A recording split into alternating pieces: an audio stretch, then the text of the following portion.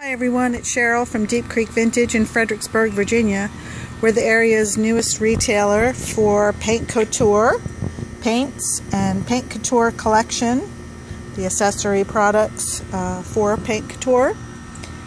I wanted to take you with me as I explore some of these products and um, this will kind of act as a tutorial for you. I wanted you to see, first of all, I'm using uh, Lake Norman Signature Blue today. It's a bright, vibrant blue. I think it'll be a great undercoat for some of the other products that I'll be showing you uh, further on in the series.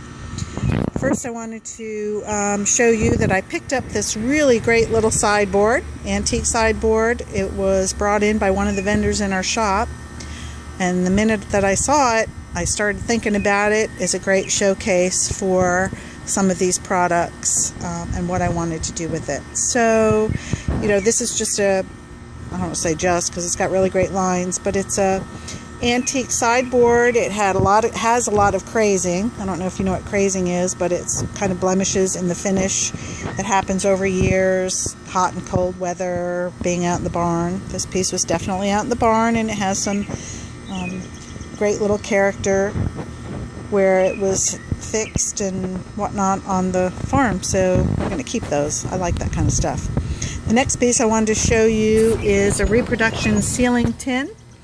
It is just a bare silver metal. Probably has all kinds of stuff on it that I didn't get off. I did wash it down with Krud Kutter and Windex, but it still is um, flaking a little bit. I don't mind that. I was kind of hoping it would do that so that I could play with it and see if we can't get it looking nice and old and um, able to display it. Maybe we'll put it on something. Next I wanted to show you we have a planter. This planter is a cement, probably some kind of a composite into mixed into the cement because uh, it doesn't quite feel that rough, but it's very smooth.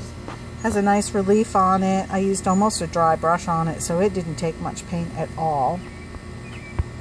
The piece behind that one is a relief. It's made out of some kind of plastic composite, probably from the 70s or 80s. Probably see them around, but that's going to be a lot of fun to work with. So all of these pieces, one coat coverage, I'm really excited about it. And one 8 ounce jar. Actually, the jar is not even empty. And we get to do something with the jar afterwards too because we're not going to throw that away.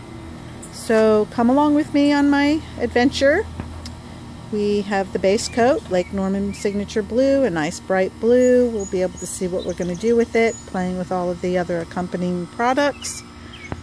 And there's my new Zibra fan brush that I painted all of these products with. You have to get one of these. It's really great.